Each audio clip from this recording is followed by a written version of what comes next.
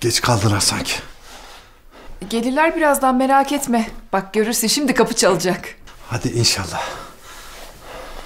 Ha hediye. Eylül ile Nuran'ın yanında abim sizi çok özlemiş deme tamam mı? Hemen yumuşamış gibi olmasın. Köye tatile göndermedik sonuçta. Tamam tamam demem. Geldiler.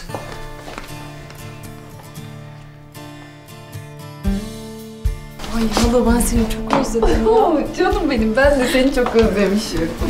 Kuzen, nihayet. Hoş geldiniz ablam. Hoş bulduk hediyem. Ay bir yorulduk, bir yorulduk. Bir de acıktık. Aa sofra hazır hadi geçin. Hadi.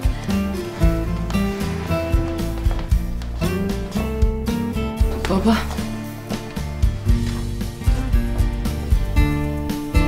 Öyle olmaz.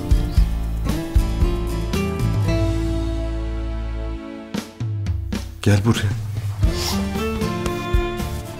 Ben seni çok özledim babam. Ben de seni çok üzüldüm kızım. Siz benim canlarım, ciğerlerimsiniz. Çok canımı sıktınız, çok üzdünüz ama olsun. Bir daha olmayacak söz. Sıpalar sizi. Hadi geçin sofraya.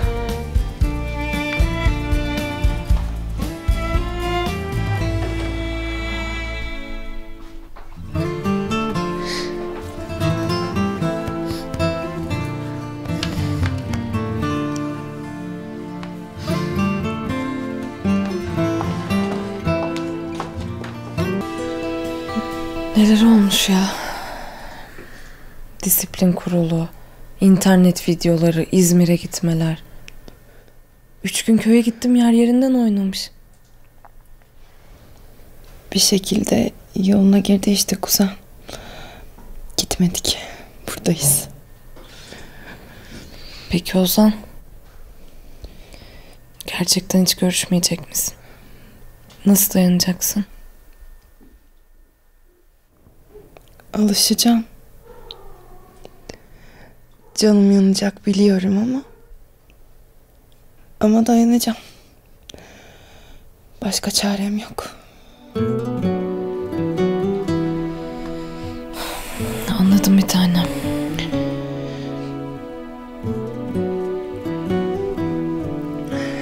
Boş ver beni. Sen anlat. Yaz köye bile yanına geldiyse belli ki kalp sende. Sen de ondan hoşlanıyorsun. Ne oldu şimdi sevgili misiniz? Aslım. Ben her şeyi çok farklı hayal etmiştim. İkimiz de çok mutlu olacaktık, üzülmeyecektik. Şimdi sen böyleyken neyi anlatayım ki?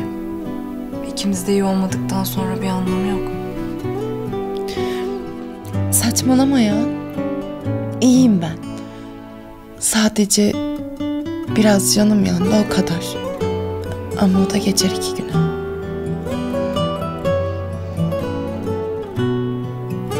Yani geçer herhalde.